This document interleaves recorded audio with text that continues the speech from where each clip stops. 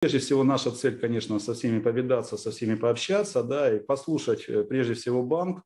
Э, я так понимаю, достаточно интересный, послушать его презентации и поговорить, конечно, о том, о чем мы можем, вот э, наши члены, члены нашей организации могут совместно с банком посотрудничать. Вот. И первое слово для приветствия я передаю вице-президенту, руководителя исполкома, нашей дорогой и любимой Ноне Саядовне. Спасибо. Спасибо, Александр Геннадьевич. Уважаемые дорогие коллеги, я рада, что, несмотря на все эти э, тотальные ограничения, мы с вами встречаемся и очно, и заочно, и онлайн, и офлайн. И сегодня должна анонсировать, сегодня в «Деловой России» будут э, будет большая конференция с участием, очная конференция с участием всех торговых представителей Российской Федерации за рубежом, более 50 торгпредов со всех стран представляющих Россию, приедут, и мы сегодня будем в режиме биржи контактов отрабатывать с коллегами те вопросы, которые у предпринимателей на сегодняшний день существуют. Такие биржи контактов, они всегда бывают полезными, и можно э, многие рабочие моменты, какие-то конкретные кейсы отработать, если кто в Москве и может себе позволить такое передвижение по городу. Это тоже уже стало большой редкостью. Приглашаем вас в Деловую Россию принять участие в нашем мероприятии. Ну и будет э, онлайн-подключение для тех, кто не может присутствовать физически на онлайн-подключении не в рамках биржи контактов, а, а сама конференция, пленарная часть.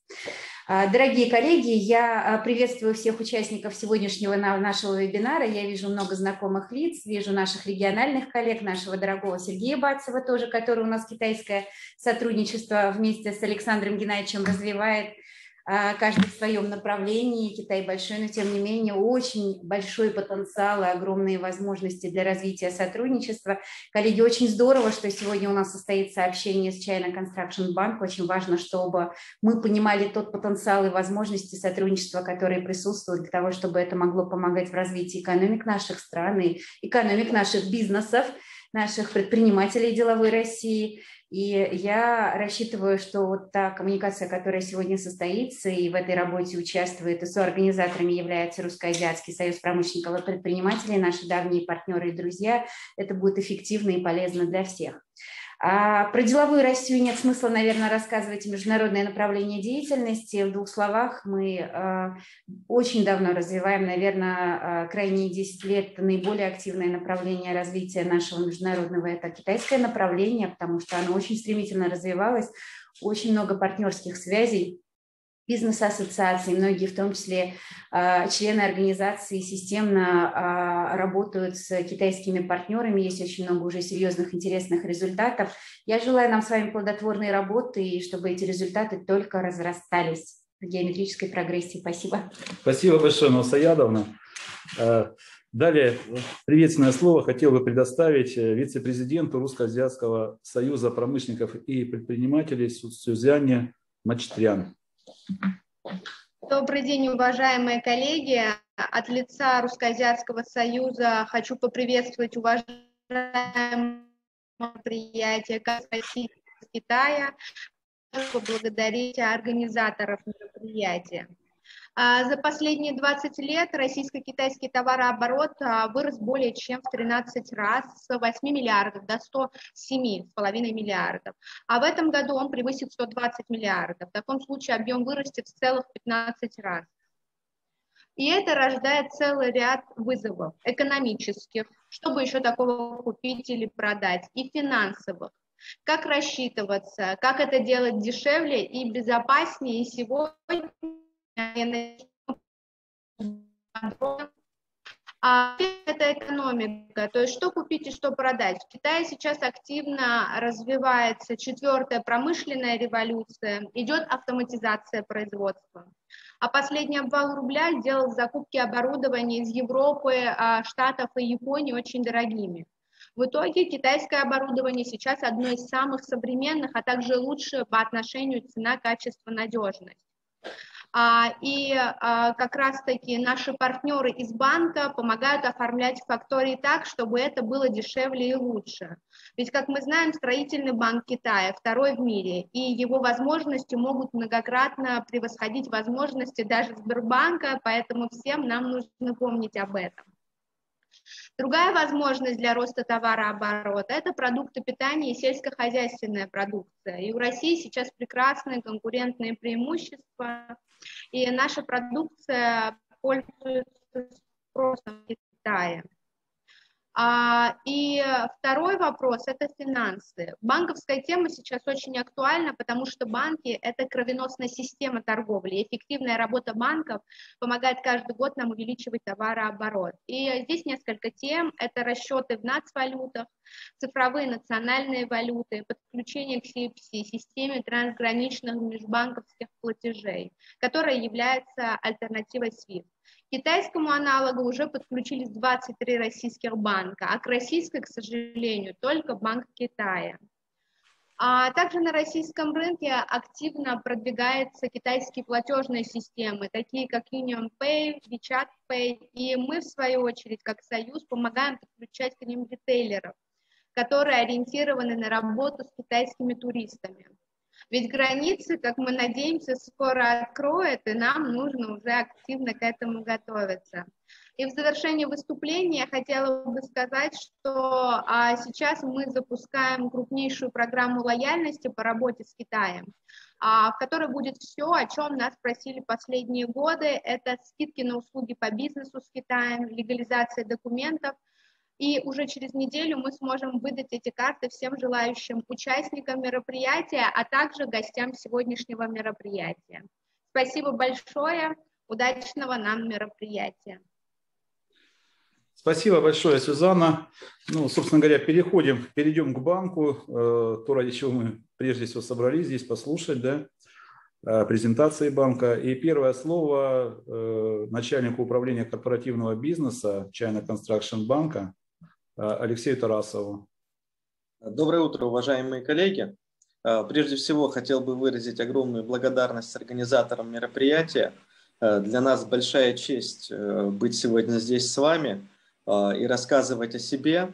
Мы, мы участвуем командой, соответственно, я в банке отвечаю за весь бизнес с корпоративными клиентами – также двое моих коллег, а, Дмитрий Огнев и Антон Александров, также чуть позже выступят с презентациями наших а, специализированных э, и очень интересных и продвинутых продуктов для российских компаний, которые желают развивать э, экономические связи между Россией, Россией и Китаем. Позволю себе, если можно, ко второму слайду буквально несколько слов – про наш банк. Э, действительно, как уже говорили коллеги, мы являемся э, вторым банком в мире по очень, многих, по очень многим показателям и э, по огромному количеству продуктов занимаем даже первое место, да, как, как в Китае, так и в мировом масштабе. А, в России банк присутствует достаточно давно, уже практически 10 лет. За это время Э, пройден достаточно серьезный путь. Да, банк все эти годы э, активно развивался, постоянно расширяя э, как список собственных клиентов, так и спектр продуктов, которые предлагаются на рынке. Да. Если говорить о последних полутора годах, как раз вот с, с начала пандемии, то мы стали еще более сфокусированы на работе с российскими компаниями, как экспортерами, так и импортерами.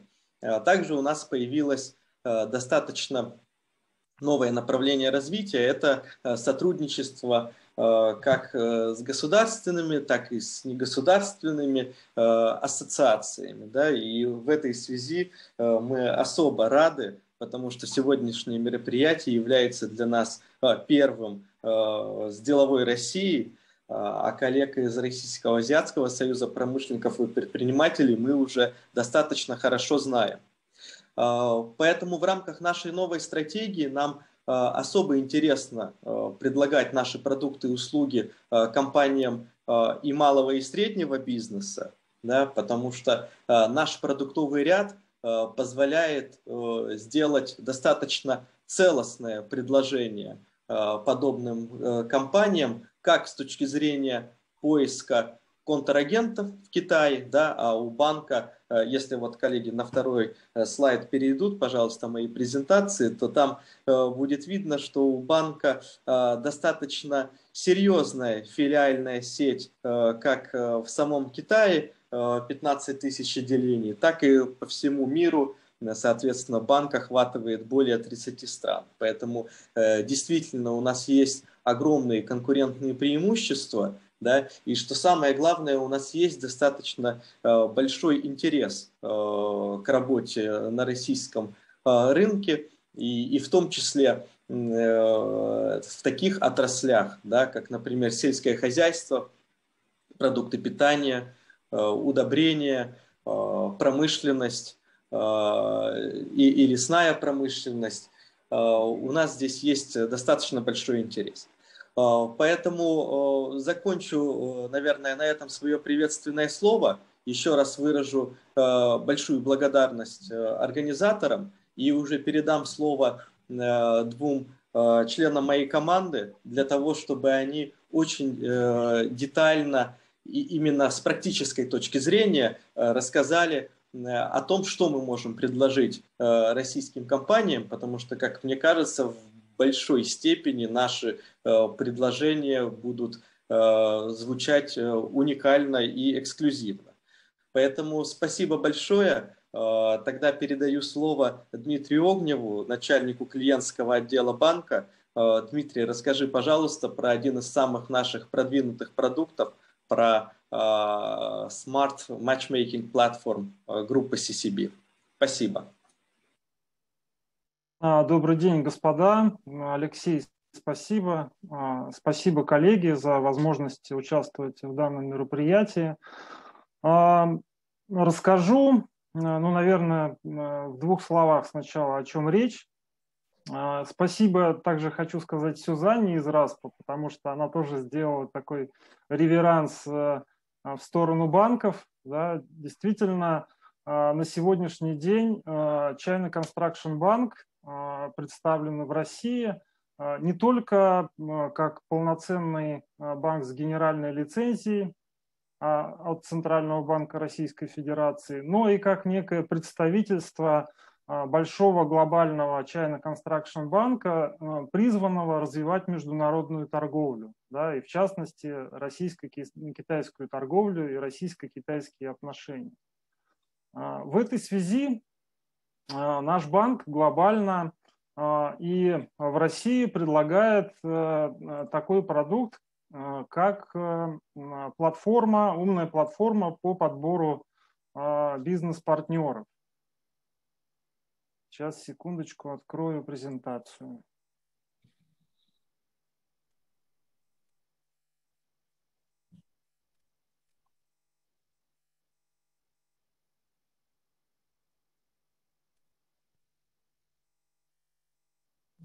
Видно презентацию мою? Да, а, да, видно. Видно, спасибо. Да, спасибо. А что из себя а, представляет данная платформа? По сути, это веб-портал, веб-сайт, который позволяет развивать меж, межстрановой B2B бизнес да, э, любым э, компаниям, которые заинтересованы, российским компаниям, которые заинтересованы в китайском рынке, э, неважно, предлагаете ли вы товары или услуги для экспорта в Китай, или вы заинтересованы в поставках продукции или каких-либо услугах от китайских компаний, эта платформа может быть для вас полезна. Я провожу аналогии, рассказывая о платформе, провожу аналогии с а, так сказать, с приложениями и программами, которые мы используем а, как частные лица, да, аналог Авито, может быть, а, но только заточенный под э, развитие бизнеса. Платформа предоставляет возможность размещать ваши предложения для потенциальных потребителей в Китае – или размещать вас, ваш запрос на какие-либо товары и услуги. На сегодняшний день э, веб-платформа CCB Match Plus э, как вы можете видеть на экране, достаточно большое количество пользователей привлекло. Большинство из этих пользователей это китайские компании, крупные и средние компании по всему Китаю. Учитывая широкий охват банка в Китае, по всей стране, с большим количеством филиалов и офисов и огромным количеством клиентов, которые обслуживает банк, большинство из зарегистрированных пользователей – это, конечно же, в первую очередь клиенты банка. Но не обязательно. Да? Мы привлекаем в том числе и предлагаем услуги нашей платформы всем желающим. А поскольку пользование э, базовыми функциями платформы является бесплатными, а, поэтому платформа пользуется популярностью. И вот э, в презентации указано, что почти 800 тысяч зарегистрированных пользователей в ней было, но это данные, скажем так, э, трехмесячной давности. Да. На сегодня, насколько нам известно, а, пользователь, количество пользователей приближается уже к одному миллиону.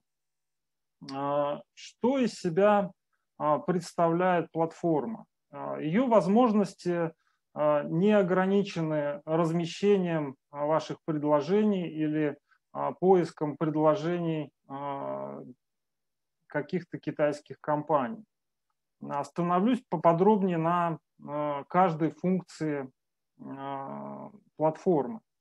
Ну, базовая функция – это, собственно, размещение информации о вашей компании а, и о той продукции, которую вы предлагаете или которую вы планируете приобрести в Китае. А, кроме а, возможности размещения или поиска информации о товарах, да, есть и возможность точно такая же поиска или размещения информации об услугах, которые предлагаются. Услуги могут быть э, любые, а, это и транспорт, и юридические услуги, и э, ну, фактически а, любые услуги, которые, как вам кажется, а, могут быть интересны китайским потребителям, китайским компаниям, либо если вы развиваете или планируете развивать бизнес э, с Китаем или в Китае, и вам необходима поддержка на китайской стороне, тогда у вас есть возможность э, найти потенциально партнеров в Китае э, путем поиска соответствующих предложений на платформе. А, очень важной и интересной функцией и возможностью, которую предоставляет платформа, является проведение различных онлайн а, мероприятий и форумов. А, вот уже за последние несколько месяцев, в декабре и вот э, в июне месяце, а, мы проводили подобные мероприятия. Да, эти мероприятия в обоих случаях были посвящены развитию взаимоотношений по, между российскими и китайскими компаниями по экспорту российской сельхозпродукции и продуктов питания в Китай – что сейчас пользуется очень большой популярностью а, в Китае. Мы проводили такие онлайн-мероприятия, на которых российские компании-экспортеры а, имели возможность представить и свои компании, а, и ту продукцию, которую они либо уже начинают поставлять в Китай и хотят найти на большее количество контрагентов и партнеров, или только планируют расширить свой бизнес за счет экспорта своей продукции в Китай. А, такие мероприятия, а, они позволяют э, непосредственно найти партнеров, а, на начальном этапе провести, помимо презентации, провести общение, онлайн-общение с потенциальными китайскими партнерами тет-а-тет для того, чтобы обсудить какие-то базовые вопросы о возможностях сотрудничества обменяться контактами. а, и затем начать уже а, живое, живое общение и а, взаимодействие по заключению каких-то договоров. Также хочу отметить, что одной из интересных функций нашей платформы является и возможность участия в реальных живых ярмарках или выставках. А, например, CCB Match Platform а, активно сотрудничает с такой, одной из крупнейших в Азии а, ярмарок, как Кантонская ярмарка. Возможность у платформы есть э, организовать виртуальный стенд вашей компании, где вы можете представить ваши предложения для китайского рынка, организовать такой виртуальный стенд на платформе, который а, будет, ну, безусловно, а, дешевле а, любого живого стенда, который не потребует от вас выходить из дома и с минимальными затратами получить э, практически тот же самый эффект, как участие в живой и реальной выставке. И, наконец, Э, что еще важно? Платформа время от времени представляет э, какие-то тематические разделы. Да? В нашем а, э, случае важно ответить, например, такой раздел, как «Один пояс, один путь». Да? Как известно, есть такая программа на государственном уровне в Китае по развитию, восстановлению шелкового пути, а, и по этому пути а, есть возможность э, а, обсуждать и получать информацию о, об услугах транспортировки, железнодорожного транспорта, о услугах, которые предлагают э, компании из э, городов и провинций Китая, находящихся на этом пути. В, этом же, в этой же связи и важно отметить и такую, такую программу, как «Экспресс китайские железные дороги». Да, а, если а, у вас, а, в вашей компании есть интерес э, в получении услуг э, железнодорожного транспорта, то как раз к этой тематике подключаются компании, предоставляющие соответствующие услуги а, услуги транспортировки, логистики, а, хранения а, и, и другие тематические услуги в Китае, что позволит вам организовать э, ваш бизнес э, во всех его нюансах с китайской стороной. Может быть, э, немаловажно отметить и такой раздел, как медицинская продукция. Да? Э, фактически мы начали, наверное, год назад э, презентовать нашу платформу на российском рынке именно с этой тематики, потому что на тот момент в России не хватало элементарных, элементарной продукции для защиты от пандемии, да, масок, костюмов и так далее. И как раз платформа стала той, той базой, а, на которой российские компании, заинтересованные в поставках этой продукции из Китая, могли найти для себя китайских поставщиков. Да, и, а, собственно, с этого а, старт платформы в России и начался. Вот э, в общих чертах э, то, что я хотел рассказать э, про, про нашу платформу. Хочу еще отметить и, собственно, такие а, классические вещи, которые предлагает наш банк а, компаниям, которые а, работают с Китаем или которые планируют э, работать с Китаем. Это открытие ведения счетов в различных валютах, в том числе в, в, том числе в китайских юанях. Это и осуществление расчетов а, с Китаем, благодаря тому, что, естественно, мы являемся китайским банком, и а, у нас а, есть доступ э, к расчетной сети нашего головного офиса.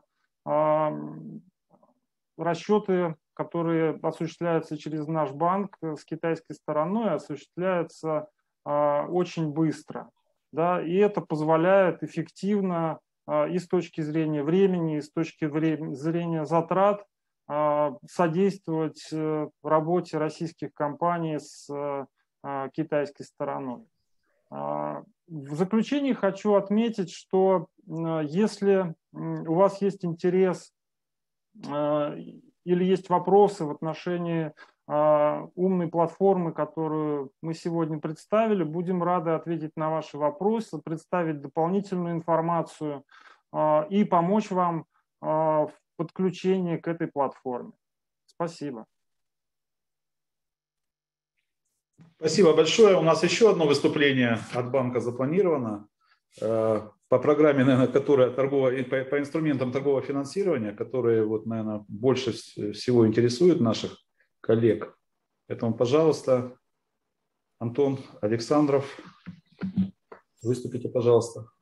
Да, добрый день, коллеги. Э, можно попросить э, сразу поставить мою презентацию и эм, отщелкать на четвертый слайд по возможности.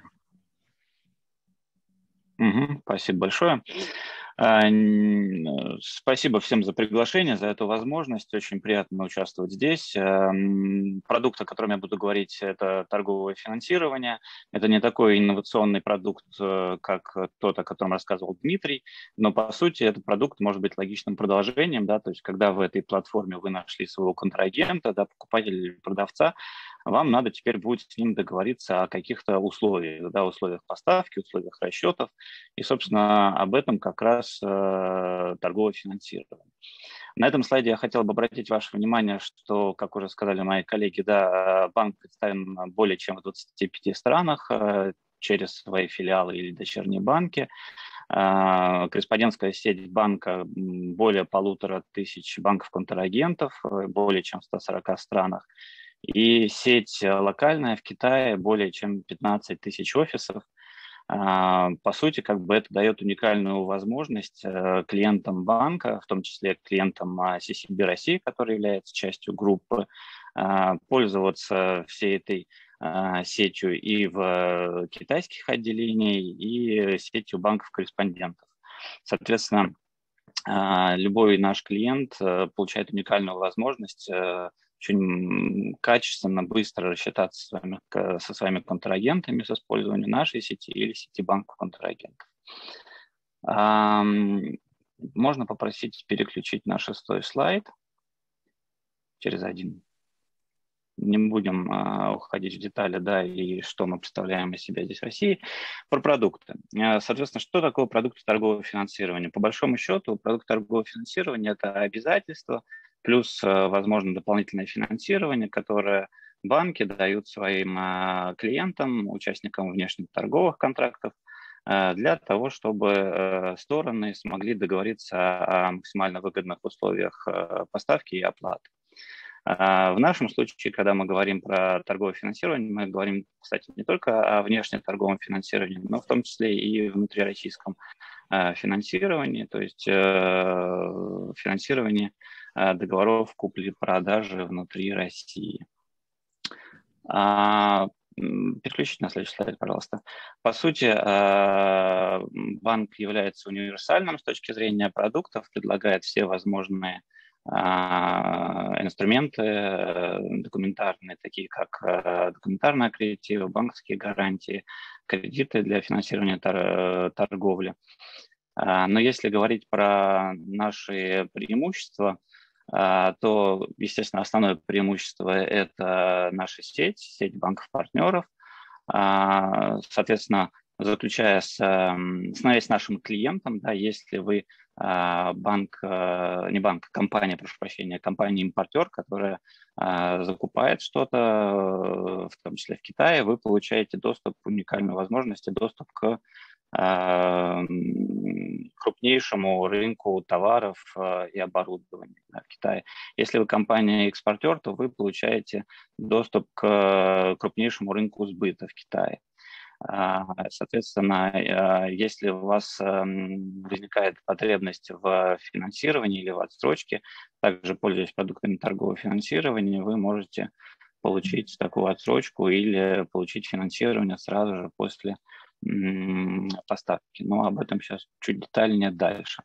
Можно на следующий слайд попросить. А, документарные аккредитивы, да, и на следующий слайд тогда. А, мы, как универсальный банк, а, предлагаем нашим клиентам а, и импортные, и экспортные аккредитивы. Соответственно, по импортным аккредитивам возможно либо просто исполнение этих аккредитивов с добавлением подтверждения, либо же также возможно предоставлять финансирование в виде постфинансирования немедленных аккредитивов с немедленной оплаты или дисконтирования аккредитивов с отсрочкой платежа.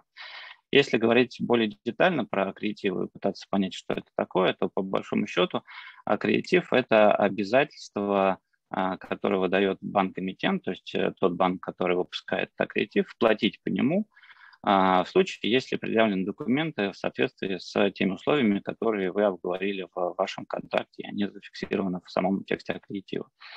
А если не хватает обязательств банка-эмитента, аккредитив может быть подтвержден. Да, и таким образом у бенефициара, у получателя этого аккредитива будет двойное обязательство, обязательство и банка-эмитента, и обязательство подтверждающего банка платить по этому аккредитиву в случае, если э, документы соответствуют. Таким образом, э, бенефициар, получатель аккредитива, он э, практически минимизирует свой риск неоплаты, и таким образом вы, как э, компания-импортер, да, покупатель, получаете уникальную возможность договориться э, с э, вашим поставщиком о тех условиях, да, которые, которые вам нужны. Да. То есть как минимум уйти от стопроцентного или там, частичного авансового платежа, как максимум максимально широко э, расширить рамки платежа по аккредитиву. Если вы компания-экспортер и в вашу пользу выпускают аккредитивы, допустим, с отсрочкой платежа, против которых предполагается, что вы должны были бы получить э, оплату через там, 180 дней или 360 дней после поставки представленных документов, то мы можем предоставить вам дисконтирование и оплатить сумму документов э, сразу, незамедлительно после предоставления документов, а, соответственно, уже дальше будем ждать э, возмещения и расчетов с тем банком, который этот аккредитив выпустил. Как я уже сказал, в том числе мы работаем и в России с внутрироссийскими аккредитивами в рублях. А если говорить про расчеты с Китаем, то, соответственно, здесь мы можем говорить про аккредитивы в любой валюте, в том числе в долларах, в юанях и так далее. Можно, пожалуйста, переключить на следующий слайд. Да, а, здесь указаны преимущества аккредитива для экспортера и для импортера, но а, э, на самом деле преимущество аккредитива можно выразить одной фразой, да, это золотая середина. А, аккредитив для импортера – а, ну, а, того, э, ту сторону, которая выпускает аккредитив, а, позволяет минимизировать э, или уйти полностью от авансового платежа, а аккредитив для получателя, для поставщика прекрасен тем, что он, как я уже сказал, минимизирует полностью риск неоплаты. Если можно, на 12 слайд переключить, на банковские гарантии. Банковские гарантии э, – это, э, по сути, тоже обязательство банка платить, но уже не против представления документов, а против представления требования. Да. Таким образом, э, получатель банковской гарантии минимизирует свои риски того, что он выполнит какие-то условия контракта или поставит товар и не получит оплату. Можно на следующий слайд? В нашем случае, так же как э, мы как универсальный банк представляем полный список э, возможных э, гарантий, это и гарантии платежа, исполнения контракта, возврата авансовых платежей, тендерные гарантии, в том числе тендеры по госзакупкам, э, мы выпускаем гарантии в пользу таможенных органов, э, в пользу налоговых органов. Это акцизные гарантии, гарантии возврата налоговых, возврата возмещения НДС. И в том числе мы выпускаем такой ну, в настоящее время вид не очень распространенной гарантии, как резервные аккредитивы. По сути, это гарантии в форме документарного аккредитива. Если перейти на следующий слайд, а, по большому счету уникальность гарантии, она аналогична уникальности э, документарных аккредитивов. Да, это продукт, который позволяет вам найти те условия, которые будут устраивать одну и другую сторону. При этом банковские гарантии, они безотзывны и гарантируют да, эту возможность получателю такой гарантии максимально расслабиться и осуществлять э, свои работы или поставки, не думая о том, что другая сторона ему, соответственно, не реализует платеж, и таким образом другая сторона имеет возможность э, договариваться о лучшей цене, либо о большей отсрочке и так далее. На следующем слайде у нас есть лимиты, которые мы имеем а, по гарантиям а, в пользу таможенных органов. Э, это общий размер, совокупный лимит э, на выпуск таможенных гарантий и максимальную сумму по одной гарантии. Эм, эта презентация, насколько я понимаю, будет разослана всем членам, а, участникам данной конференции, поэтому вы сможете как бы это себе оставить информацию. В случае, если у вас есть какие-то дополнительные вопросы по этим продуктам, то либо сейчас, либо а, уже позже, чуть ниже, в самом конце, на последнем слайде есть мои контакты, контакты моих коллег. А, пожалуйста, мы всегда рады ответить на любые возникшие вопросы. Спасибо. Спасибо большое, Антон. А, вы знаете, вот, наверное, хорошая идея немножко поменять регламент и вот, э, что, э, как сказать, по свежим следам, да, чтобы вот если у наших гостей есть вопросы, чтобы вы сразу на них ответили. Э, можно, если есть вопросики, поднять вот руки вот в специальном приложении в Zoom. Если позволите, я вижу от Александра Абраменко есть вопрос про стоимость гарантии. К сожалению, вот прямо сейчас наверное, сказать это невозможно, потому что, естественно, гарантия – это рисковый продукт. Да, здесь мы исходим, а, будем отталкиваться от финансового анализа компании, да, и там для каждого клиента или для каждой группы клиентов стоимость гарантии она будет своя. Поэтому, если у вас есть потребность, э, давайте обсудим э, это после. Я скажу, какие документы нам нужны будут для того, чтобы мы смогли оперативно ответить на ваш вопрос. Все-таки вилка какая там получается? Есть какие-то вилки или они без, так сказать, без каких-либо а, ограничений? Без ограничений вилки нет, поэтому лучше дополнительно, если позволите. Спасибо. Общие вопросы есть у нас у кого системные, вот скажем, такие, которые бы интересовали всех? Вот э, вчера, значит, в ходе подготовки конференции пришел такой вопрос, вот э, я, мне кажется, он был бы всем интересен. Какие наиболее значимые запланированные проекты China Construction Bank Corporation э, запланирован на, на ближайшую среднесрочную перспективу. Какие-то проекты, которые вы будете сейчас поддерживать, финансировать?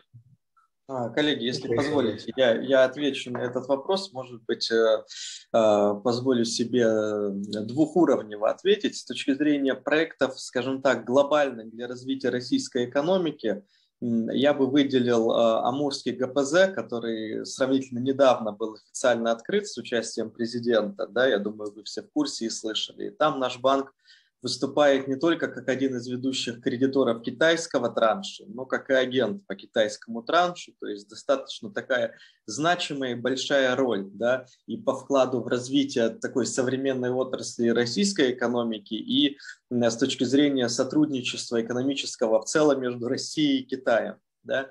На данный момент я по понятным причинам не могу раскрывать детали, так как сделки в процессе. Да. У нас есть еще ряд подобных больших интересных проектов. Я уверен, по ним все будет хорошо, и, может быть, до конца года вы о них тоже услышите. Да? Но это такие глобальные вещи. Э, с точки зрения локальных вещей, мы, как я уже отметил в своем вступлении, да, сфокусированы на работе с компаниями малого-среднего бизнеса. Да?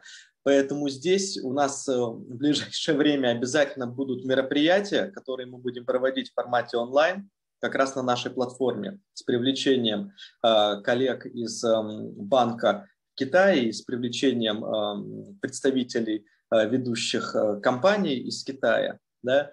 Поэтому такие мероприятия у нас обязательно будут в течение ближайших месяцев. И для нас будет одновременно и огромной честью и радостью пригласить деловую Россию, Российско-Азиатский союз промышленников и предпринимателей и как можно более широкое количество а, коллег принять в них участие. Да? Помимо этого мы два раза в год приглашаем российские компании принять участие в всемирно известной кантонской ярмарке. Да?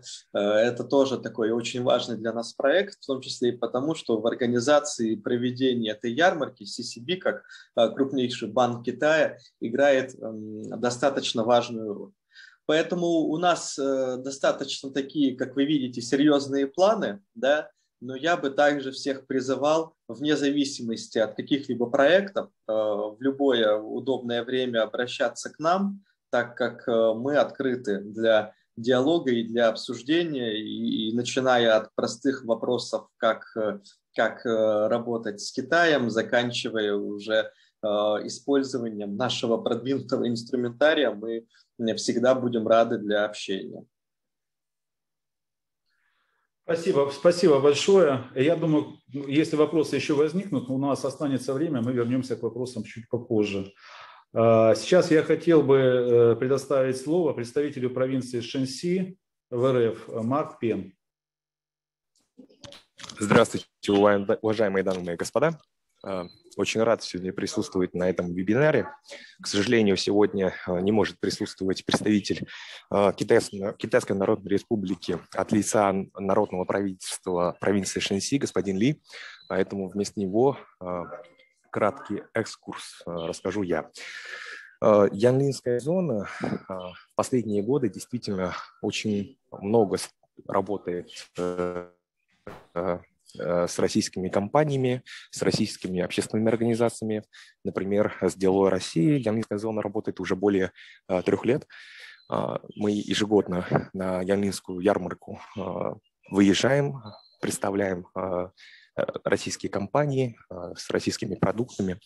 И действительно, Янлинская зона уделяет большое внимание в сотрудничестве с Россией. И хочу также отметить, что Э, с 2019 года открыто в Янлинской зоне филиал Деловой России. Поэтому сейчас э, попрошу включить ролик, презентацию.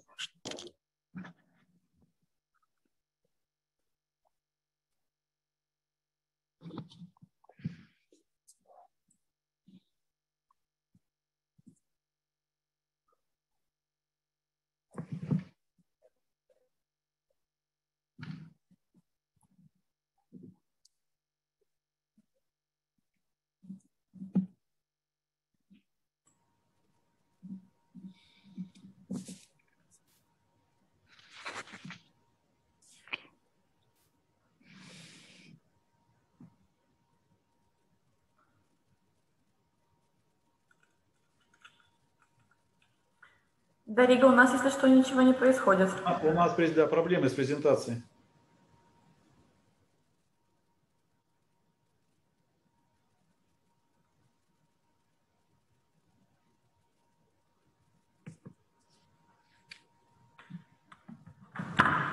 Ну, у нас будет презентация, получится, или мы пойдем дальше? Все получилось.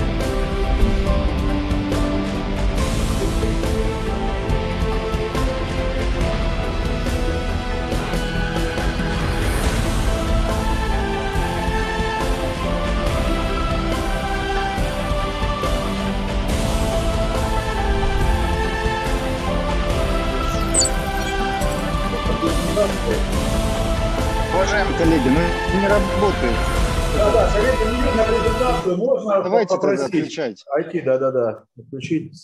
А, господин Марк Пен, может быть, вы тогда, есть коли презентация не запустилась, вы, может быть, кратко сами нам расскажете э, то, что хотели показать на презентации. Так получится?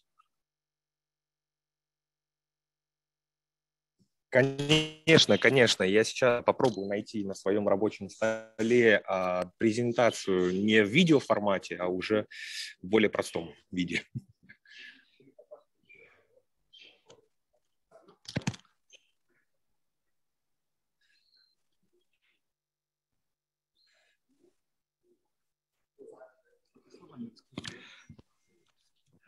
Но пока, пока ищу эту презентацию, позвольте я тогда вкратце расскажу. Янлинская зона была учреждена еще 50 лет тому назад. Это первая показательная агропромышленная зона с доступом к складу таможенного хранения со специальным таближем. А, я думаю, коллегам не нужно а, долго объяснять, что это. Это а, такие условия, как в любой зоне свободы, свободной торговли во всем мире. Товар заезжает на склад, и пока не покинет территорию склада, таможенные платежи, а также НДС и прочие таможенные сборы не подлежат уплате. Это, конечно, Э, очень сильно помогает э, и упрощает процедуру а, таможенного оформления и в каком-то смысле сокращает издержки для бизнеса с точки зрения а, таможенных платежей и НДС. А, я хочу сказать, что благодаря этой таможенной преференции многие наши российские компании уже работают с Янминской зоной, и а, воспользовались этой а, политикой преференции а, именно для, для России. А также хочу отметить, что с 2020 года на территории Янминской зоны была учреждена база агропромышленного и сельскохозяйственного сотрудничества в рамках ШОС, Шанхайская организация сотрудничества. В рамках этой ШОС, базы ШОС Янминская э, зона совместно с э, оргкомитетом ШОС ежегодно проводит различные семинары, вебинары и лекции э, в сфере агропромышленного сотрудничества и, торг... и в сфере торговли продовольствием. А. Если вы позволите, я сейчас включу маленькую презентацию по, по, по Ямнинской зоне.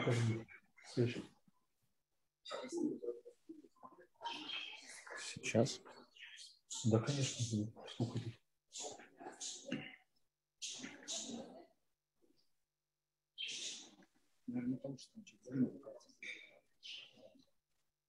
Прошу предоставить доступ к демонстрации.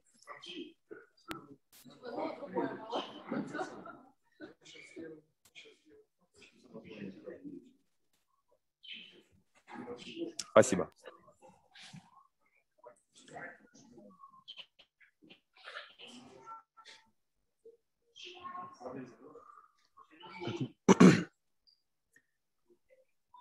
Как видим, эта Яминская зона была учреждена 50 лет назад. Это была первая а, показательная зона агропромышленного сотрудничества.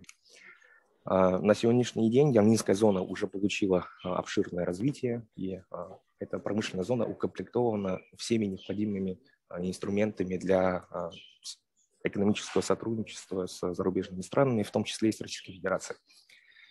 А, как мы видим, руководство КНР уделяет Янлинской зоне большое внимание, и а, действительно у Янлинской зоны а, свой режим администрирования. Да, то есть Яминская зона не подчиняется провинциальным властям, а подчиняется министерству напрямую.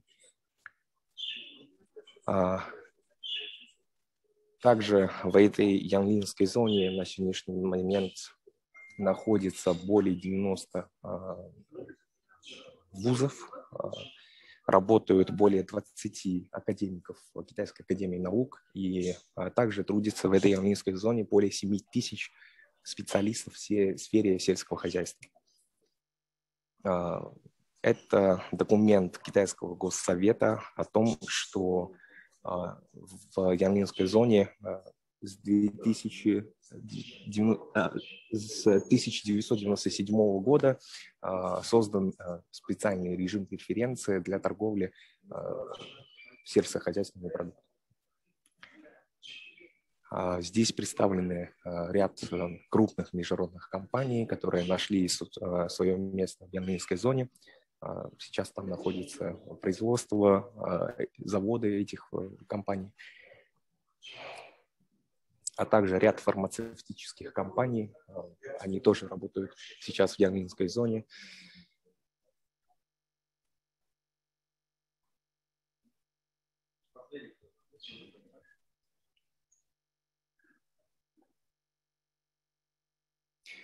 Здесь показано, где находится эта Янлинская зона, это провинция Шэньси. Как вы видите, провинция Шэньси находится в самом центре Китая. С точки зрения логистики, это любой точки, а, если использовать Янлинскую зону в качестве отправной точки, то расстояние до любой точки Китая абсолютно одинаковое, что действительно дает Янлинской зоне определенные преимущества а, с точки зрения внутренней перевозки. А также хочу отметить, что с 2018 года Янлинская зона подключена к железнодорожной сети Китай-Европа. Это значит, что товары, отправленные а, из а, Европы, из, из стран ЕС, могут напрямую прибыть в Янлинскую зону. И также в обратном порядке это работает тоже исправно. Добро пожаловать в Янминскую зону. Спасибо. Если будут вопросы, готов на них ответить. Да. Спасибо. Да, спасибо большое, господин Марк Пен. Несмотря на то, что сначала у нас что-то не задалось презентации, в целом презентация получилась достаточно интересная. Вот. Я, далее я с большим удовольствием хотел бы предоставить слово своему коллеге, э, бизнес-послу деловой России в провинции Шэньси и городе Шанхай, э, Бацеву Сергею Викторовичу.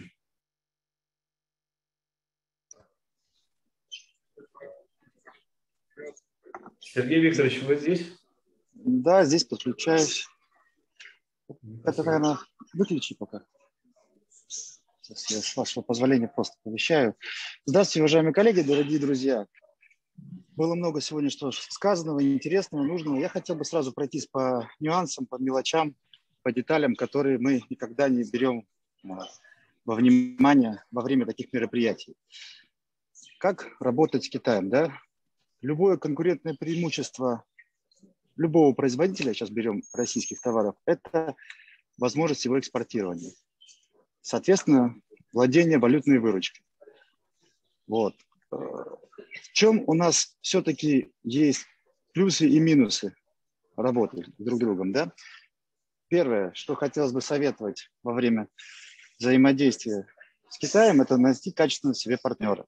Да? Так как мы, я бизнес-посол, я представляю того, кого качественного компаньона. Второе – это, конечно, поиск банковского, банковского инструмента. Сегодня нам представили Contractions Bank, самый крупный банк, да, один из крупнейших четырех крупнейших банков Китая. Но все равно мы договорились, что есть куча нюансов при работе. Что не хватает нам, бизнесменам? Это четкая работа да, как правило, а,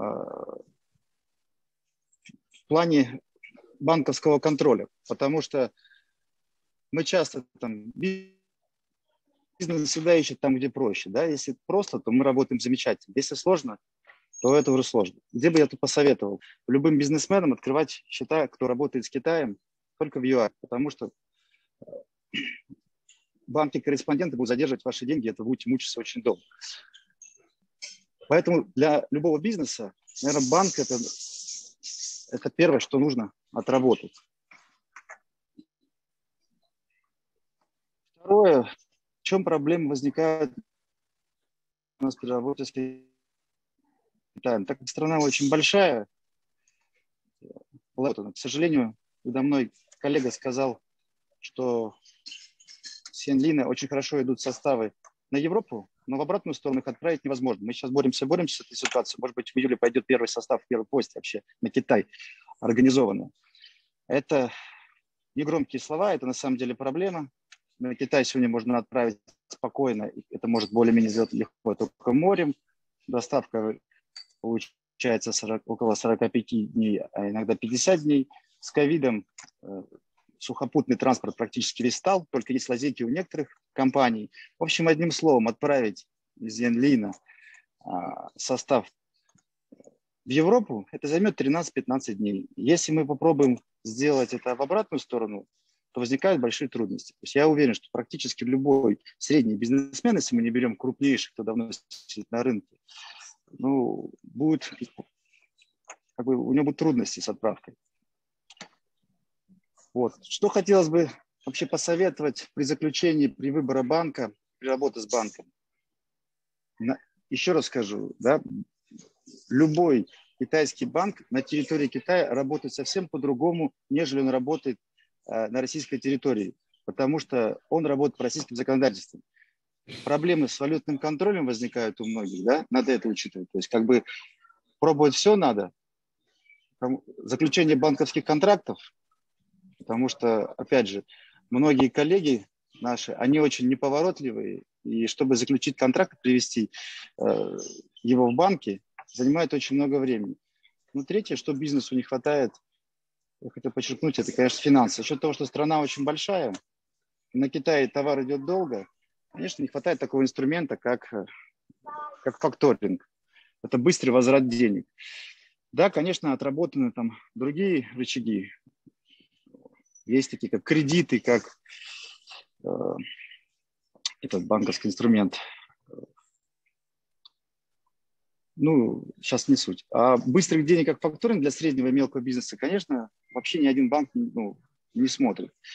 Если бы возможно было так предложить, конечно, банку Construction отработать, аккредитовать какие-то компании и настроить факторинг международный, то, что пытается сделать Сбербанк в свою очередь, но пока ни у кого не получается, да, это было бы замечательно, потому что одно дело торговать, извините, там нефтью, газом, когда у тебя контракты, да, и тебе понятно все, как пропускать деньги, как их заводить в Россию, как их выводить. А когда это средний и ну, средний бизнес, давайте так скажем, то трудности возникают уже другие, потому что, к сожалению, как есть на самом деле, мы не можем похвастаться, что мы выпускаем айфоны. Еще что-то. У нас есть ряд успешных проектов да, в Российской Федерации. Но мы не берем недропользование газ, лес, нефть там, руду, мы не берем этот сегмент, мы берем сегмент только производства, а, то проблема точки входа в Китай. Я еще раз повторюсь. Для этого нужно найти, а, партнера, то, что сейчас предложил банк Construction. Каждый, наверное, собственник бизнеса должен сам искать этого партнера. Второе, инструмент – это банковский инструмент. Потому что зачастую деньги, особенно евро, доллары, они могут зависать э, и, ну, на банках с корреспондентов очень долго. Это проблема. Нам часто жалуются, звонят, многие спрашивают совета. Мы недавно разбирались тоже целую неделю, где деньги потерялись, отправили 200 тысяч евро. Это регулярно, регулярно, регулярно. Совет переходить, если вы работаете с Китаем, только на юане, да, однозначно. Ну, это долгий, тернистый путь. Желаю вам всем, кто занимается бизнесом, кто хочет открыть для себя Китай, пройти его. Но тот, кто получил точку входа и выстроил работу, поверьте, эта точка работает. Удачи всем. Спасибо большое. Спасибо большое, Сергей Викторович. Спасибо. Я вот сейчас тоже хотел бы немножко выступить, так как вот следующее выступление идет мое по э, таймингу, да. Э, в качестве не модератора, а в качестве тоже бизнес-посла Деловой России. Я являюсь бизнес-послом Деловой России в провинциях э, Хэлэнзян, Гуандун и городе Пекин. Э, компания, которой, которую я представляю вот в данном направлении, является компания REM Logistic. REM Logistic занимается в первую очередь, конечно, это перевозка и доставка товаров из Китая, преимущественно прямыми поездами железнодорожными в 40-футовых контейнерах. Все знаете, кто работает с Китаем, все знаете как раз направление из Китая в Россию. Да? Э, с тем, какие сложности вот, э, все компании, по сути, сталкивались с какими сложностями, да, с постоянными переносами. Ну, вот я скажу, что мы, в принципе, эти вопросы все решаем практически. Наши клиенты уезжают вовремя. Ну, иногда были, конечно, в самое сложное время были небольшие задержки. Ну, мы умеем это сделать так, чтобы они были... Если есть задержки, то они чтобы были минимальными. Поэтому welcome. Э, если есть вопросы с этим, прошу обращаться. Также мы имеем свой штат собственных представителей на территории Китая, в Гуандуне, например, да, что умеем, что, что, люди, что люди делают. Как подбор поставщиков, так и удаленную приемку сейчас вот э, очень часто востребовано люди, э, проводим, ну, наши, наши представители проводят. Также сопровождаем контракт. Также мы являемся, Ремложистик является таможенным представителем, работаем как на сухопутном направлении, так и на авиаузлах. Да? Значит, вот из нового китайские наши друзья в ближайшее время вот э, как раз к нам обратились, запускают э, самолет Харбин э, Шереметьево, два раза в неделю будут летать грузовой. Э, обещают хорошие ставки, поэтому если будут вопросы, связанные с логистикой, пожалуйста, обращайтесь. Э, всегда рад э, помочь, всегда рад, скажем, ну, так поработать совместно в этом направлении. Вот. Спасибо большое вот, за внимание к моему выступлению. Если что, контакты все мои есть, как деловой России, так если нужно, мы, конечно, отправим эти контакты. Александр, Далее. Да. Сегодня, да, а, есть предложение все-таки попробовать запустить видео коллег а, видеоколлег какое? Видеоколлег, которое было? Вот перед да, этим да. не получилось? Да, хорошо, давайте видеоколлег, а потом у нас еще несколько презентаций. Спасибо.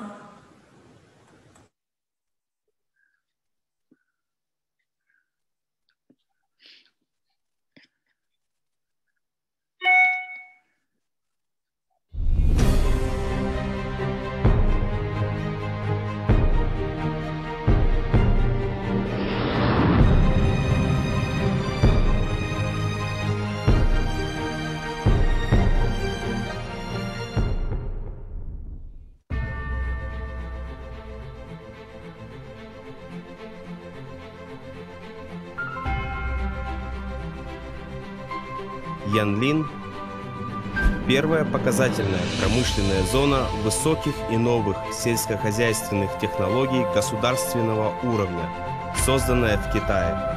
Лидер в области сельскохозяйственных научно-технических инноваций на протяжении более 20 лет. Единственный район свободной торговли с ярко выраженной сельскохозяйственной спецификой в Китае.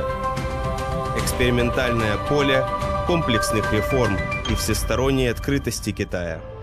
Янлин расположен в центре равнины Гуанчжун в провинции Шэньси, находится в большом получасовом экономическом кругу Сиани. Здесь находится колыбель развития земледельческой цивилизации Китая. Первый чиновник по земледелию Китая Хоу Цзи обучал народ земледелию и разведению пяти видов хлебных злаков – это самое раннее упоминание о деятельности в сфере агрономического образования и продвижения в истории сельского хозяйства Китая. Здесь расположен известный в Китае и за рубежом агротехнический город. Имеет свыше 70 дисциплин, более 7 тысяч научно-образовательных талантов в области сельского хозяйства. Один из районов с наибольшей концентрацией ключевых инновационных факторов – технологий, талантов и информации в области сельского, лесного и водного хозяйства внутри страны и за рубежом. Янлин имеет крайне уникальную систему управления. 22 министерства, ведомства и правительства провинции Шаньси осуществляют совместное строительство и управление – обладает несравненным преимуществом в области оптимизации и интеграции центральных и местных ресурсов. На Янлин возложена важная государственная миссия – фокус на показательной зоне, стимуляция развития засушливых районов и оказание услуг по всей стране. Созданы более 300 научно-технических показательно-популяризационных баз сельскохозяйственной науки и техники по всей стране – Площадь годового показательного внедрения достигает 90 миллионов му. Эффект внедрения достигает 23 миллиардов юаней. Миллионы крестьян извлекли выгоду из этого.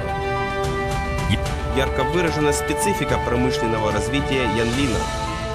Сформированы 8 ведущих отраслей промышленности, которые охватывают сельское хозяйство с применением искусственного интеллекта, биофармацевтику, производство сельскохозяйственной техники, переработку продуктов питания, защиту сельскохозяйственных ресурсов, агротуризм, индустрию услуг в области сельскохозяйственной науки и техники. Янлинская сельскохозяйственная ярмарка высоких технологий, торжественное Олимпийское собрание сельскохозяйственных научно-технических кругов аккредитована Всемирной ассоциацией выставочной индустрии, ценность бренда занимает первое место среди сельскохозяйственных региональных брендов в Китае. Посредством открытой внешнему миру платформы экспериментальной зоны свободной торговли в настоящее время Янлин прилагает усилия в создании Центра международного сотрудничества в области современного сельского хозяйства в рамках инициативы «Один пояс, один путь». На данный момент установлены отношения сотрудничества более чем с 60 странами и регионами. Созданы 13 платформ международного сельскохозяйственного сотрудничества, активно устанавливается сотрудничество и осуществляется обмен опытом. Согласно третьему утверждению Госсовета от октября 2018 года, строительство направлено на преобразование Янлинской показательной зоны в ключевую зону продвижения сельскохозяйственных научно-технических инноваций в засушливых и полузасушливых регионах, показательную зону, которая возглавит специфическое современное сельскохозяйственное развитие и возрождение сел и деревень в новую эпоху и зону скопления инноваций, талантов и промышленности современного сельского хозяйства с международным влиянием.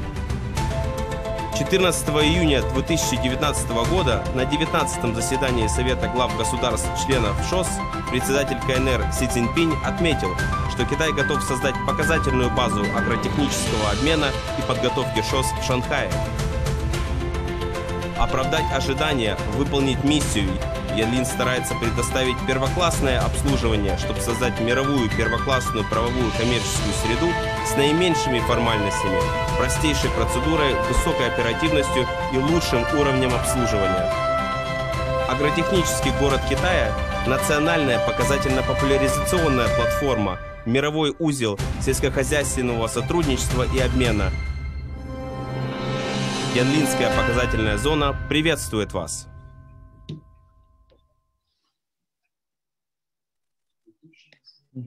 Спасибо большое.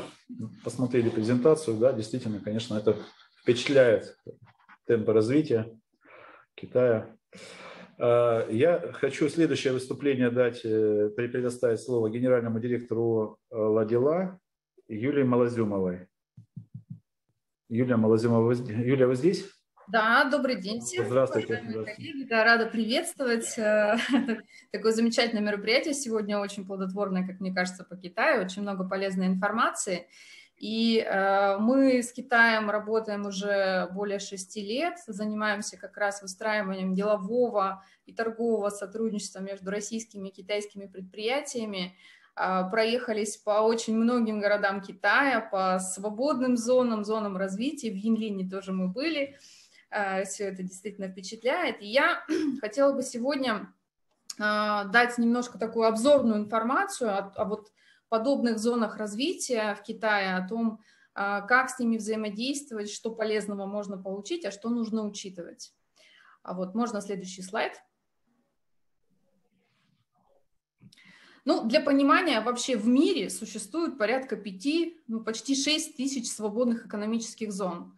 Это сюда входят и зоны развития, это э, такие специальные, вот как вы видели пример Янлина, э, значит, структуры, которые предоставляют всевозможные льготные политики, условия э, для развития бизнеса.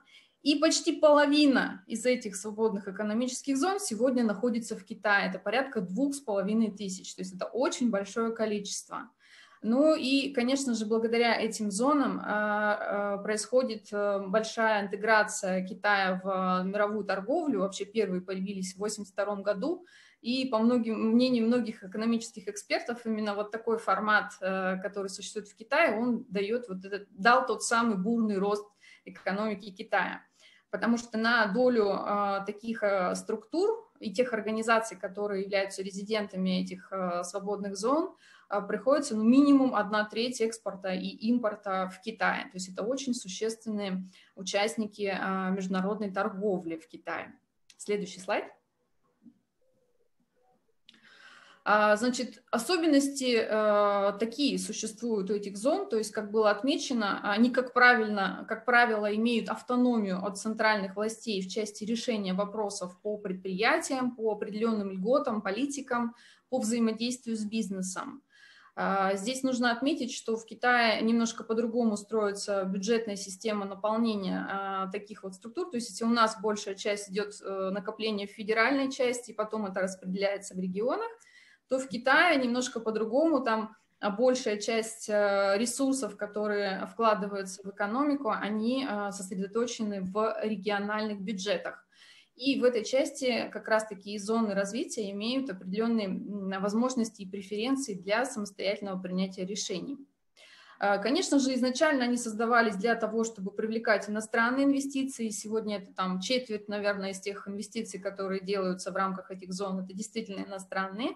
Но, тем не менее, у этих зон есть свои самостоятельные ресурсы, фонды, которые они формируют для того, чтобы поддерживать и финансировать, в том числе инвестировать в тот бизнес, который развивается и локализуется внутри этих зон. А, конечно же, главный приоритет изначально у этих зон это была промышленность, то есть все, что связано с производством физической добавленной стоимости. Но за последние годы появляются другие форматы, упрощаются режимы доступа для иностранного бизнеса и к сферам услуг, там специальных, профессиональных услуг. Поэтому только промышленностью эти зоны не ограничиваются, там и может быть и торговля, и услуги, и другие виды деятельности. Ну, конечно, больше льготы политик, они достаются по-прежнему промышленности. А, эти зоны являются еще интеграторами в региональную экономику, то есть у них есть система взаимосвязи э, между собой, между провинциями, а также они являются интеграторами проводниками в мировую экономику. То есть фактически становясь резидентом таких зон, бизнес а, получает облегченный доступ в те торговые цепочки, которые сложились у Китая с другими странами, что тоже нужно учитывать. А, ну и еще особенность, несмотря на то, что Китай все-таки это плановое, а, с одной стороны, хозяйство, но это с элементами рыночной экономики, и эти зоны обладают определенной гибкостью в плане регулирования своей политики поддержки и принятия решений в зависимости от рыночной экономической ситуации. Следующий слайд.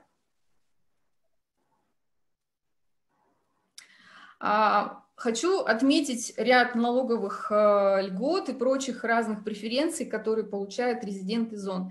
И почему я, собственно, и говорю о локализации, потому что для того, чтобы зайти и иметь доступ на рынок э, Китая в качестве экспортера, а, конечно же, присутствуют определенные барьеры, поскольку у Китая, несмотря на то, что это там большая экономика, очень привлекательный рынок, но у них есть свои ограничительные барьеры а, и определенные правила, которые регулируют их внутренний рынок для того, чтобы защищать в том числе и своих местных игроков.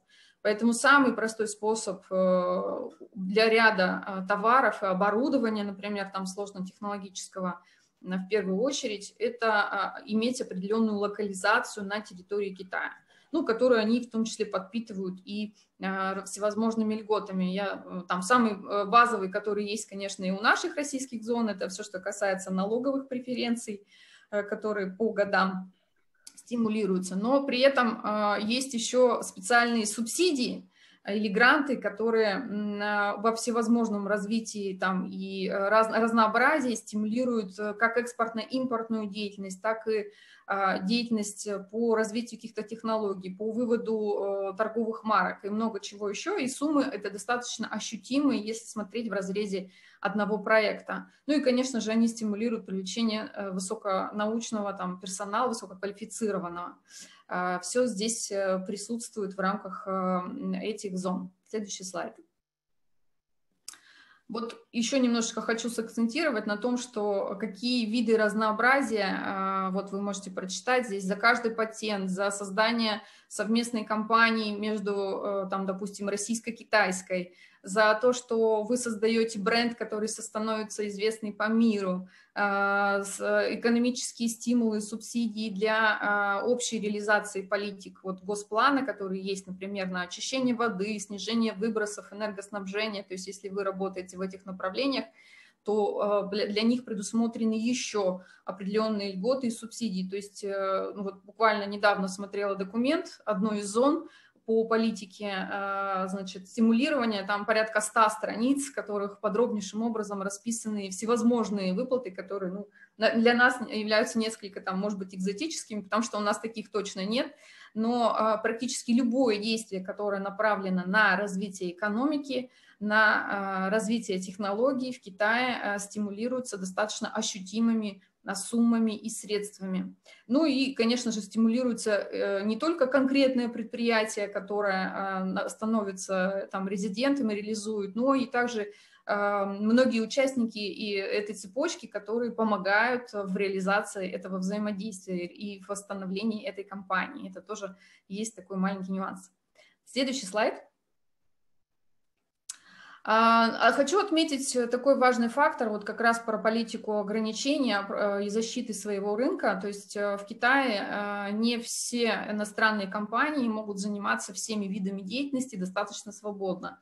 То есть есть, ну, там, например, обычная торговля, конечно, там свободно открывается со стопроцентным иностранным участием, здесь нет ограничений, но есть виды деятельности, например, как медицина, услуги, ну, и любое взаимодействие с социумом, а, это касается больше там услуг, телевещания и там кино, которое активно сейчас в Китае развивается, там студии, киностудии строятся по всему Китаю.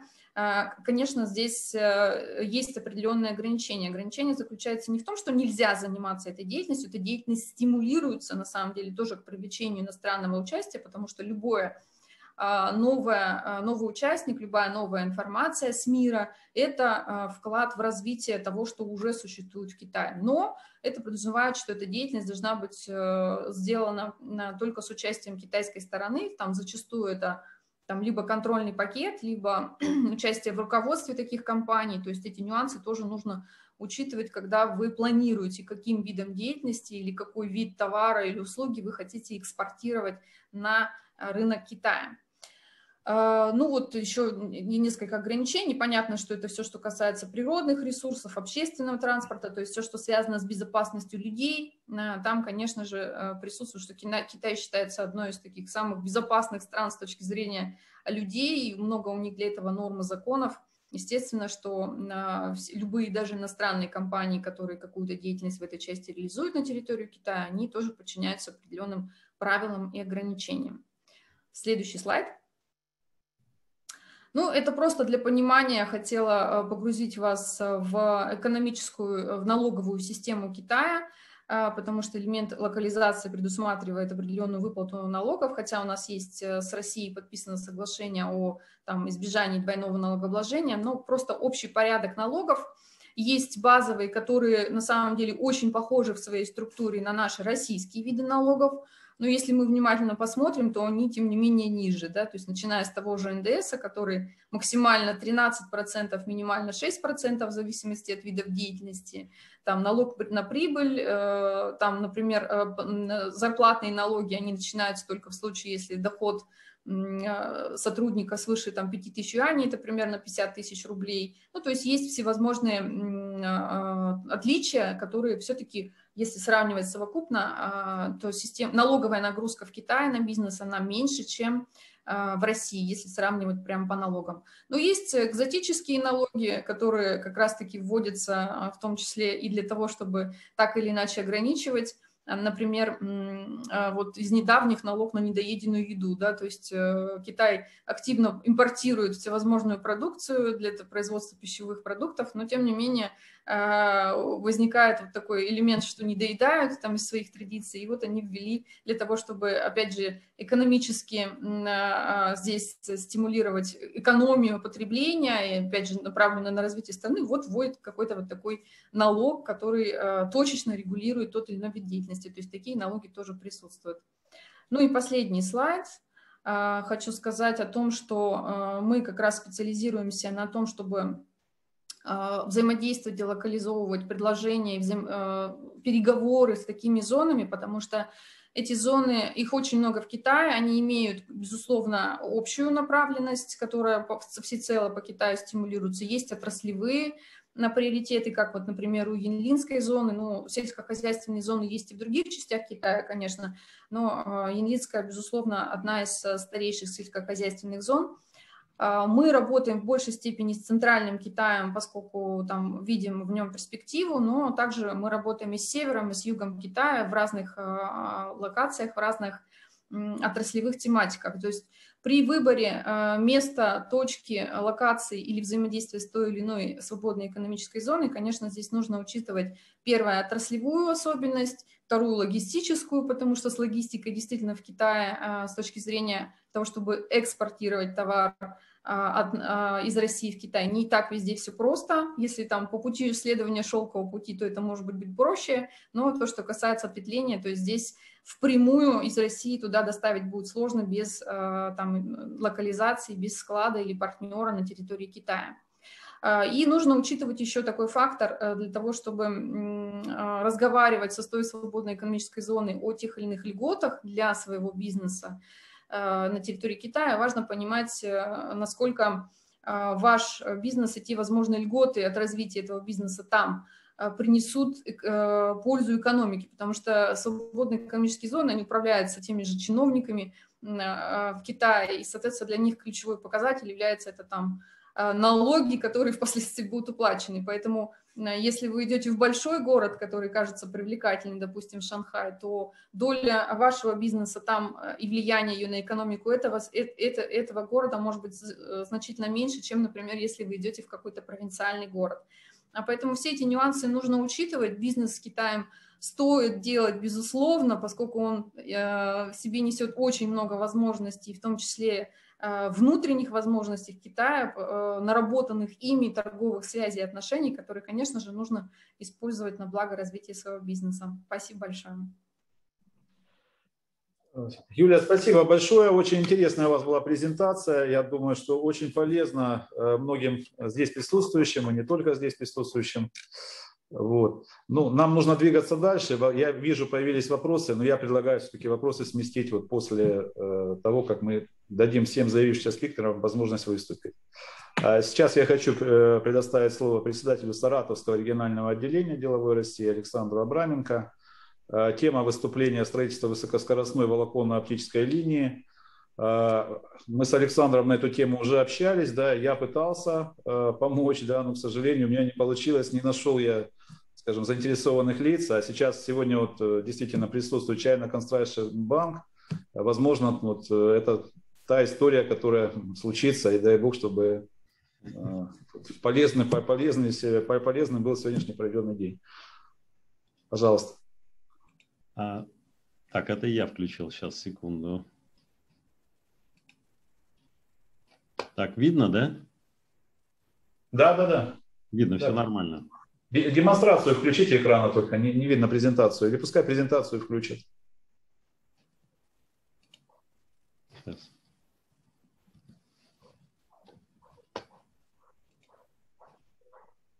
Ну так лучше, да? Ну, вас видно, все хорошо, презентации не видно. А. Секунду. Сейчас видно вот так вот. Презентации нету пока. Так, я включил. Все, вот сейчас, да, все есть. Все есть, да? Ну, отлично. Есть, есть. А, ну, смотрите, я, э, как уже вот коллега сказал, что мы пытались э, совместно найти Э, партнеров, но на самом деле на сегодняшний момент ситуация пока стоит на месте. Ну, я думаю, что, может быть, банк э, каким-то образом получит вот такую презентацию, и здесь она может заинтересовать. Почему? Потому что кто владеет информацией, тот владеет миром. А это, в общем-то, банковская тематика с поиском партнеров, которые занимаются непосредственно телекоммуникациями.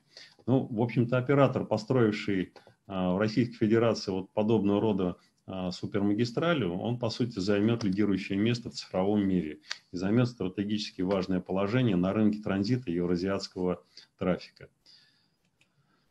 А, в чем же проблема? Дело в том, что актуальность проекта обосновывается необходимостью для России, вообще для Евразии, снизить зависимость от англоамериканских э, дальнемагистральных операторов и занять стратегически важное положение на рынке транзита евразиатского трафика.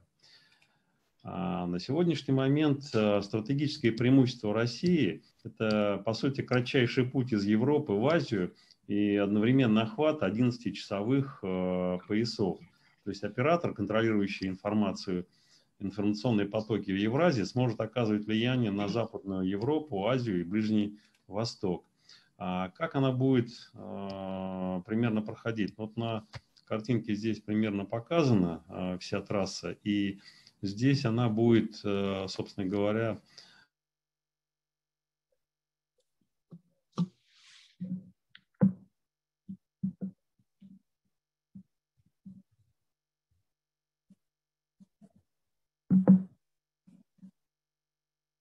проект, который будет, в общем-то, по своей сути, он будет уникальным. А в чем его ценность? Ну, конечная, в общем-то, цель – это перетянуть перетянуть на территорию Российской Федерации часть международного бизнеса по высокоскоростному и надежному транзиту и, обра- и обработке данных.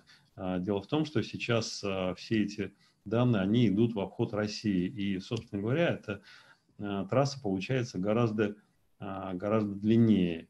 И в силу этого, то есть там происходят там, задержки на какие-то миллисекунды. Но это, по сути дела, влияет на, ну, в нашем рынке какие-то доли секунды, они влияют на скорость принятия решений и являются очень важными вот на сегодняшний момент. Так вот, обеспечить такой сквозной а, транзит и контроль над евроазиатским а, трафиком с использованием а, новых технологий – это волновое мультиплексирование. Дальше цели – перераспределить потоки и контроль существующих евроазиатского трафика с территории США на территорию России и Азии. То есть по, вдоль этого вдоль этой супермагистрали будут, соответственно, строиться современные ЦОДы, которые на сегодняшний момент, они достаточно, э, в общем-то, их не хватает, потому что очень много данных э, у нас пере, перекачивается на сегодняшний момент, и те а, линии связи, которые существуют на сегодняшний момент, они, в общем-то, не, справля, не справляются. По этапам, значит, э, и что сегодня у нас уже существует – Проработан маршрут магистрали с учетом расположения ключевых инновационных центров и технопарков России для размещения оборудования. Ну и, в общем-то, а, по предварительному согласованию согласовано право а, прохода по заданному маршруту с владельцами инфраструктуры, находящейся на территории Российской Федерации. Ну, на сегодняшний момент параметрами этого проекта основные, это, в общем, потребность в инвестициях, там порядка 500 миллионов долларов США, время строительства это 30 месяцев, финансовые потоки начинаются, по сути, через 9 месяцев. Почему? Потому что уже часть работ выполнена, это 132 километров, и то есть затрачены деньги порядка 700 миллионов рублей. А, какие же есть у нас особенности? Вот э, прокладка а, волоконно-оптического кабеля – это 96 волокон в грунте, защищенном пластиковой трубе. То есть это в любом случае это э, те э, супермагистрали, которые существуют на сегодняшний момент, они по сути идут по дну морей и океанов. Это очень дорогое удовольствие на самом деле. И здесь э, вот э, по территории России будет проходить именно а, в грунте. Вот это выигрышное преимущество. В связи с этим это очень дешевое, так сказать, удовольствие по отношению к э, тех кабелей, которые идут по дну морскому. А, но все основные системно-технические решения по строительству а, дальнемагистральной ВОЛС с учетом требований международных операторов и ООН, и Минэкономсвязи, они собственно говоря, решены. Ну, я еще раз подчеркну, что стоимость э, порядка 500 миллионов долларов. И э, что самое интересное, это полная окупаемость в течение двух-трех лет с начала ввода а, магистрали в эксплуатацию. Здесь капитализация через год, по сути, после того, как начнет действовать полностью, капитализация, а, в общем-то, будет не менее 1 миллиарда рублей. Ну, собственно говоря, инициатором и инвестором проекта выступает группа физических лиц. Текущее финансирование осуществляется физическими лицами, текущими а, владельцами проекта. Но, собственно говоря, необходимо а, этот проект, скажем так, вот а, развивать, двигаться и, собственно говоря, будет очень интересно. На самом деле, на сегодняшний момент у нас не существует э, подобного рода проектов, и собственно, э, те операторы, которые существуют у нас на сегодняшний момент на территории Российской Федерации, они вовлечены в свои и погружены в свои собственные проблемы, которые они решают, ну, скажем так, урывками. А вот э, транс, такой, трансграничных каких-то магистралей на сегодняшний день нет. Поэтому проект очень интересный. Ну, я думаю, что, может быть, пообщаемся мы с, с банком. Может быть, они подскажут, куда в каком направлении нам двигаться. Спасибо, коллеги. Спасибо большое, Александр. Очень интересно, как я уже сказал, дай бог, чтобы э, все у вас в этот вот, ну, получилось с таким интересным проектом. А следующее слово хочу предоставить Дмитрию Чухланцеву, генеральному директору компании «Термолайзер», членам Генерального совета. Добрый день, уважаемые коллеги. Компания «Термолайзер». Мы хотим сделать презентацию нашего проекта. Если можно, мы сейчас сделаем демонстрацию экрана.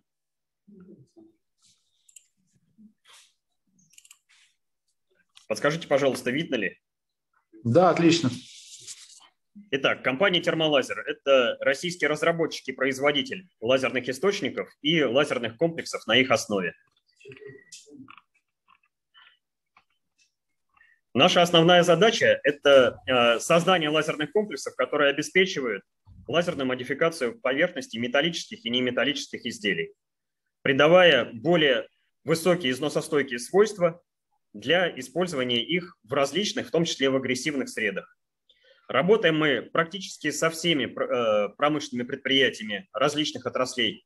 Это и космическая индустрия, двигатель-строительная индустрия, авиационное машиностроение, вертолетное машиностроение, металлургические предприятия.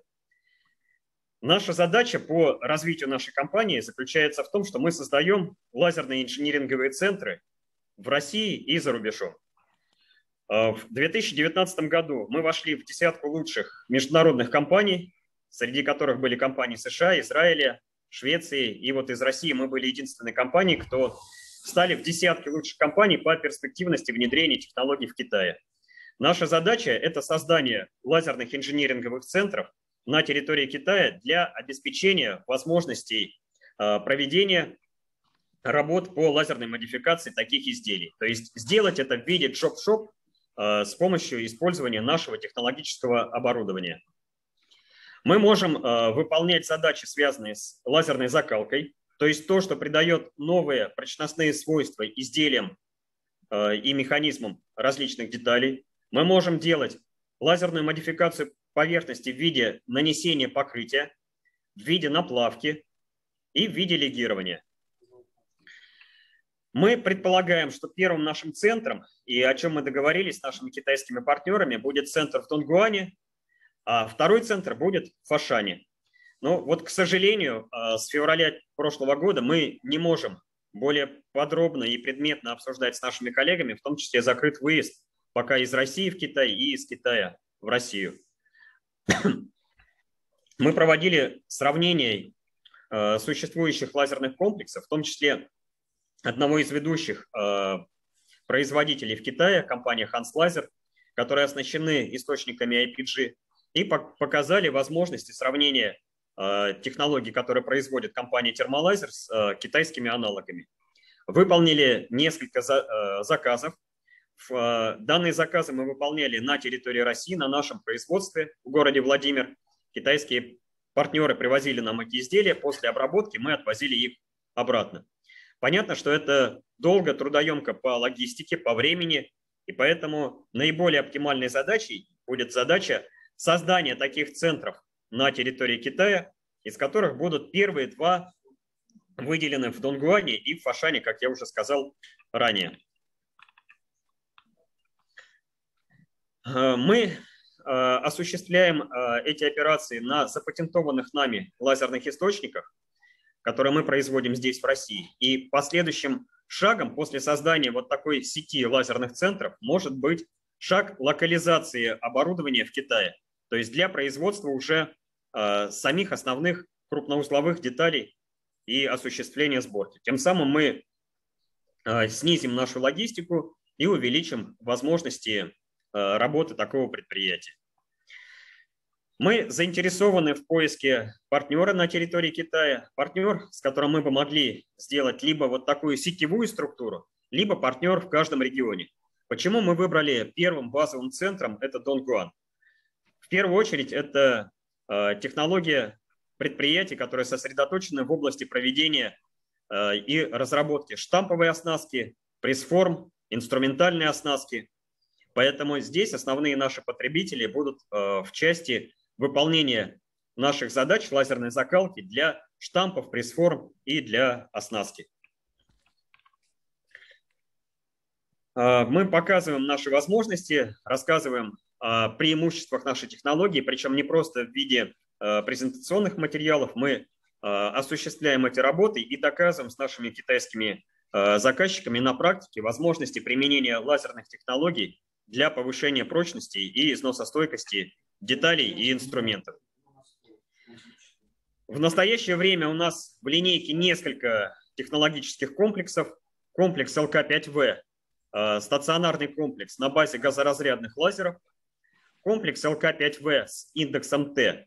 Это комплекс, который позволяет делать э, упрочнение внутрицилиндрических поверхностей длинами до 6 метров. То есть это может быть для гражданской тематики нефтесервисная индустрия и мобильный роботизированный комплекс на э, передвижной платформе, который может Э, на аккумуляторах преодолевать межцеховые пространства и подъезжать непосредственно к э, самой детали. Мы показываем преимущество нашей технологии в виде увеличения износостойкости. При этом износостойкость увеличивается от двух и более раз. То есть детали стоят в два и более раз дольше. Тем самым мы экономим и создаем эффективность тем предприятиям, которые производят такие виды деталей. Резюмируя, э, хочу сказать, что мы заинтересованы в том, чтобы создать вот такую сетевую структуру с последующим возможным выходом на первичное размещение. Э, первые три э, таких центра могут выполнять задачи, связанные с лазерной модификацией поверхностей, а затем мы оснастим эти центры дополнительными Э, устройствами, связанными уже с э, аддитивными технологиями. В том числе с технологиями, связанными с э, печатью изделий, а также перспективными технологиями 21 века, это технологиями холодного ударно-волнового воздействия, такими как, например, лазерный наклеп. Мы подготовили бизнес-план, финансовую модель для создания такого центра. Презентацию мы оставим, и если будут заинтересованные партнеры, с удовольствием пообщаемся и обсудим возможные точки взаимодействия. Здесь на слайдах приведены технические характеристики наших комплексов, которыми будет оснащен э, центр в Китае. Благодарю вас за внимание. Спасибо. Спасибо большое, Дмитрий. Будем надеяться, что партнер тоже найдется, да, благодаря в том числе нашему сегодняшнему мероприятию. И я рекомендовал, конечно, на платформе банка попробовать его найти, поискать, разместить. А, ну, у нас осталось совсем немножко времени, как я и говорил в начале. Давайте, если есть вопросы, кому вопросы, давайте, значит, вот вижу поднятую руку, да, я не знаю, она давно уже поднята рука. А, давайте, а, так, ну, вот одна рука поднята, к сожалению, сложно прочитать э, тут имя. Э, задавайте вопрос, если он еще остался.